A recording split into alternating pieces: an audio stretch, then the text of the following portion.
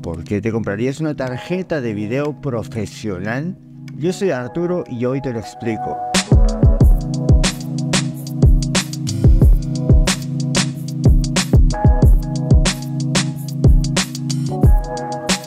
AMD lanzó hace poco esta Radeon Pro W7700, una tarjeta de video profesional.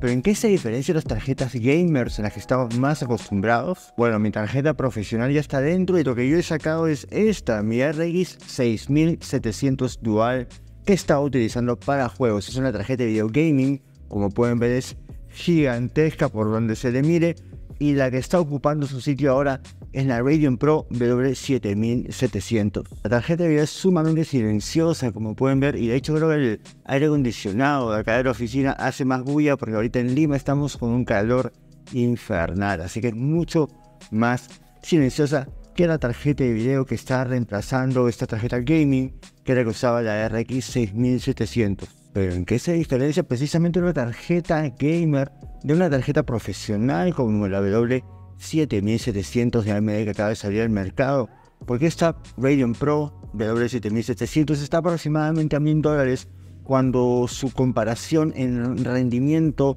en el lado gamer como la RX 7800 de AMD, una 4080 de Nvidia está poquito más de la mitad de precio. Eso es lo que vamos a ver ahora. ¿Vale la pena realmente invertir en una tarjeta profesional frente a su contrapar gamer? La verdad es la primera tarjeta profesional para workstations que he utilizado y he notado unas diferencias bastante significativas en unos puntos que les voy a comentar en este instante. Un punto clave y algo que noté inmediatamente es el tema de la estabilidad. Cuando estamos hablando de una tarjeta de video gamer, estamos hablando en lo que se está tratando de exprimir la mayor cantidad de rendimiento posible sin importar las temperaturas, podemos, bueno, el hecho de hacer overclocking es sumamente popular cuando estamos hablando de tarjetas de video para gaming. Aquí tenemos una suite de drivers totalmente diferente, no es AMD Adrenaline, sino unos drivers que se llaman Radeon Pro Edition, que de hecho la última vez que fue actualizado fue el 11, no, perdón, el 22 de noviembre del 2023, aproximadamente cuando se lanzó la tarjeta de video. Y aquí está el punto clave, es estabilidad. Estas tarjetas de video Pro Edition están hechas para correr en workstation, en estaciones de trabajo, en donde el tema de que sean totalmente confiables es lo más importante al respecto. Por supuesto, van a tener un excelente rendimiento, pero prima más que la tarjeta de video no se vaya a colgar, no vaya a traernos problemas cuando estamos renderizando un video, un modelo en 3D, a veces este tipo de trabajo que requiere que nuestra computadora esté trabajando 48 horas seguidas, de repente estamos trabajando con un modelo de lenguaje de inteligencia artificial que tiene que estar constantemente encendida porque dependen muchos clientes de nuestro workstation. En este tipo de casos, la estabilidad es sumamente importante y esto es lo que noté inmediatamente cuando empecé a utilizar los gráficos Radeon Pro W7700. Programas de Adobe que se me paraban colgando, por ejemplo, eran mucho más estables utilizando los drivers y esta tarjeta de video Radeon Pro. Yo que soy eh, editor de video, trabajo mucho como creador de contenido. Por supuesto, lo noté mucho cuando estaba creando videos, creando contenido, editando videos en DaVinci Resolve. Todo se veía mucho más estable. Con la otra tarjeta de video, por ejemplo, a veces no se notaba que mi monitor de la nada, cuando estaba trabajando en DaVinci Resolve, la pantalla se ponía negra de la nada y volvía. No sé si era algún bug o algo de la versión de Adrenaline que estaba corriendo, pero en mi experiencia con esta tarjeta de video jamás tuve un problema. No hay bugs, por eso las versiones de drivers se lanzan solamente cuando están probados hasta el más mínimo detalle de que funcionen de manera estable. Y esto es totalmente notable con estos Radeon Pro en los drivers y en la tarjeta de video. Esto también se refleja mucho, por ejemplo, en el tema de la temperatura que les comentaba al inicio. No se trata de llegar a 90 grados, 100 grados de temperatura, sino que la tarjeta se mantiene muy estable entre los 70 grados centígrados con un excelente rendimiento y con un consumo que está alrededor de los 190 watts. Es decir, es una tarjeta que no va a generar mucho calor dentro del case de nuestra computadora para que ponga o comprometa otros dispositivos que están dentro. Esto no significa que no tenga un excelente rendimiento, estamos hablando de la misma arquitectura RDNA3 que tiene las nuevas tarjetas de video Radeon como la RX 7900, 7800, así que en performance es excelente. También tenemos 16 GB de memoria GDDR6, que es en doble de lo que tenía el modelo anterior de esta tarjeta de video. De hecho, muchas personas estaban buscando este, esta tarjeta de video que tuviera esta memoria RAM, sobre todo para trabajar con más flujos de trabajo complejos, videos en 8K, 4K,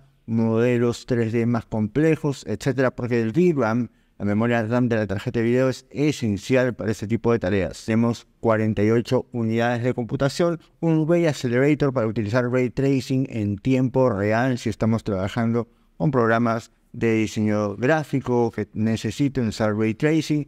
Y además estamos hablando de un consumo nuevamente un TDP de 190 watts, es decir, la tarjeta de video no va a consumir tanto como una tarjeta gamer, ideal, como les digo, para utilizarlo en máquinas, en workstations construidas para todo tipo de trabajos de inteligencia artificial, edición de video y este tipo de cosas. Seguramente se están preguntando, ¿esta tarjeta también me sirve para jugar? Y la respuesta es sí. Nuevamente, como tenemos RDNA 3, vamos a tener una performance muy similar como la RX 7800 de AMD, Así que estamos hablando de una performance gaming bastante buena, lo voy a mostrar una vez en un rato cuando pongamos Cyberpunk. Pero esta tarjeta de video compite en otro segmento porque sus fortalezas, a pesar de que tiene el mismo núcleo y la misma base que las tarjetas de video Radeon para gaming, estamos hablando de que se especializa más en cosas como lo es la creación de contenido. Estamos hablando de que compite con las tarjetas de Nvidia las RTX ADA o las A4000, por ejemplo, donde estas tarjetas tienen aproximadamente un 25% mejor rendimiento en renderizado de video como lo es en DaVinci Resolve, por ejemplo, en Premiere también vamos a ver grandes ventajas y por supuesto en todo lo que sea modelaje 3D, trabajo de modelos de lenguaje, inteligencia artificial y todo ese tipo de cosas. Otra diferencia es que aquí no tenemos puertos HDMI, todos los puertos son DisplayPort, tenemos cuatro puertos DisplayPort 2.1 que son extremadamente rápidos, ahorita estoy moviendo acá dos paneles 4K sin ningún inconveniente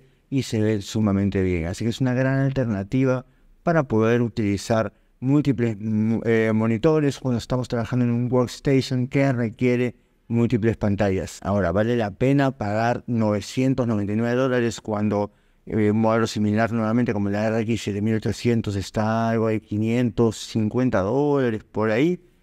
Es importante tener en cuenta para qué la vamos a utilizar. Yo creo que es importante tener en cuenta que estas tarjetas de video van a ser mucho más estables y su trabajo, si viven básicamente la creación de contenido como lo hago yo, yo creo que sí vale la pena la inversión porque van a notar de inmediato un nivel de estabilidad que no se tenía con otras tarjetas de video enfocadas al gaming. Por eso yo digo que son dos vertientes diferentes. La de gaming está hecha para calentarse un montón, exprimir hasta lo máximo que puedas de rendimiento para sacar más FPS en los juegos, porque esa es la labor que buscamos en una tarjeta de video para videojuegos una tarjeta de video profesional como esta la W7700 tiene otro objetivo. Sí, tenemos un excelente rendimiento que quizás no llegue a lo más alto en otras tarjetas que, las tarjetas de video gaming, pero en temas de estabilidad, de rendimiento constante, ¿no? que es lo importante, que se mantenga un rendimiento estable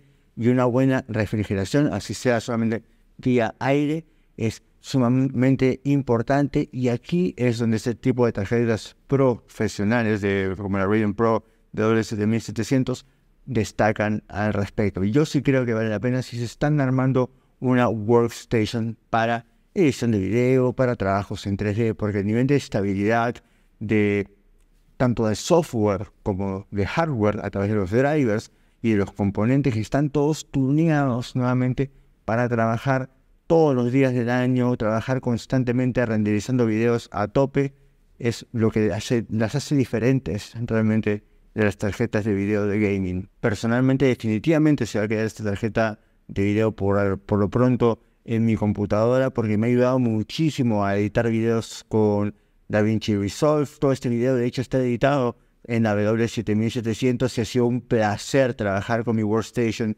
de esta manera porque es una edición muy rápida, muy eficaz, muy fácil hacer todo este video cuando sabes que la computadora va a estar siempre funcionando sin ningún cuelgue, sin ningún problema. Y nuevamente el rendimiento en juegos ha sido sorprendente. Bueno amigos, esta ha sido mi experiencia con la Radeon Pro W7700, una tarjeta de video excelente para poder trabajar. Espero que les haya gustado el video. Si tienen alguna duda adicional, comenten, la dejen en los comentarios y ya nos vemos muy próximamente. Yo soy Arturo. Chao.